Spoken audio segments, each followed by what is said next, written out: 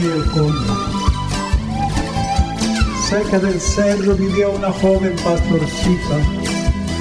Todos los días salía acompañada de su perro y a veces de su novio. Sabía llevar a sus ovejas y llamas a pasar. Un día, al igual que otros, después de beber sus hierbas aromáticas y preparar su chapo, se encaminó al patio las llamas y ovejas avanzaban lentamente comiendo paja y las hierbas habían por el camino. Por su parte el perro iba delante del rebaño, atajando a los animales impidiendo que se desviaran y así le ayudaba a la pastora. Un día apareció un cóndor gigantesco. Este comenzó a seguir a la pastora, deseándola.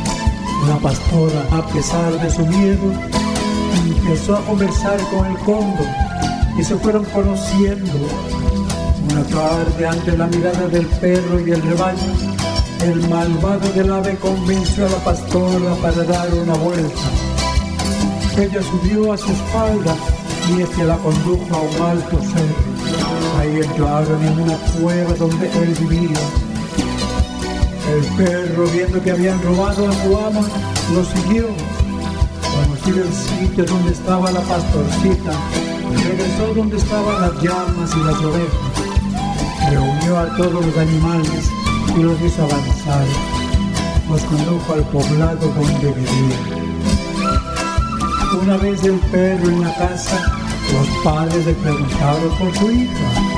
El perro los llevó a donde se encontraba su hija. Cuando llegaron al lugar donde la pastora se encontraba, comenzó a aullar con desesperación. Los padres, viendo que su hija se encontraba prisionera, regresaron para dar aviso al novio y a los demás habitantes del pueblo.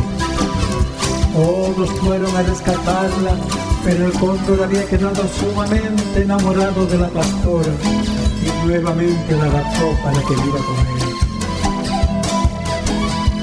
Padres y familiares reiteradamente iban a rescatar a la pastora, pero la última de aquellas ocasiones ella ya tenía alas y estaba a punto de convertirse en cóndor. Con lágrimas de los ojos, los familiares retornaron dejando a su hija para siempre para que se convirtiera en esposa del ave.